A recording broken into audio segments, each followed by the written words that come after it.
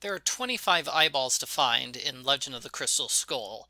If you're missing one, you can easily identify which one you're missing by looking at the cabinet, because each eye goes in a specific spot.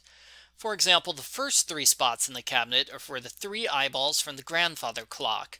You get them by entering the correct numbers into the clock. They come from the Time Will Tell story in Bruno's notebook. Number four is from the spider hole in the fountain. You listen to the spider jack in the box to get the notes, then play those notes on the strings.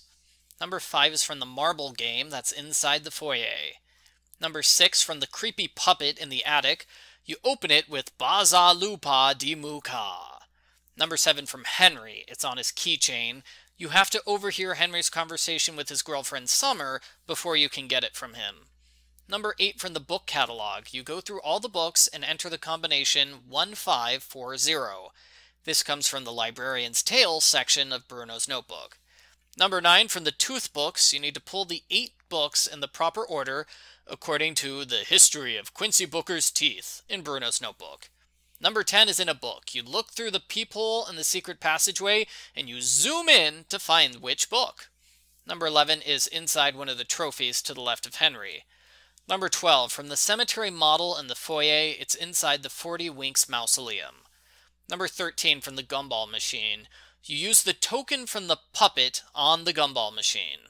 Number 14, from the skee-ball machine, you need to change all nine blocks into eyes. Number 15, from the pendulum game in the attic, start the pendulum moving, then grab the eyeball when it's outside. Number 16 is from the Jolly Rogers box. You dress Iggy up like a pirate to get the box, and you have Bess infiltrate the meeting to learn the password, which is Jean Lafitte. Number 17 is already inside the eyeball collection when you first open it. Number 18 is from Iggy, who dress him up in the optometrist costume to get it. Number 19 is in Bruno's bedroom. It's inside the drawer by the table.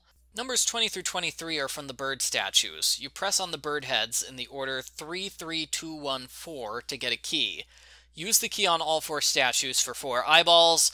This puzzle is from Bruno's notebook. The key to the statues, the statue's the key. Number 24, from the Cemetery Scavenger Hunt. The last tombstone you examine is Derek Grant's. The eyeball is inside. Number 25 is Charlie Wicker's Grave.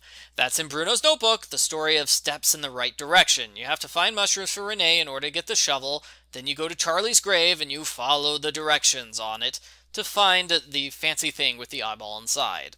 So that's it. That's where all the eyeballs are located in Nancy Drew, Legend of the Crystal Skull. Hope this helps out. I know it can be really frustrating if you're playing the game yourself and there's just one eyeball you've missed and you don't know where it is. So, uh, like I said, uh, the eyeballs are always in a specific spot in the box.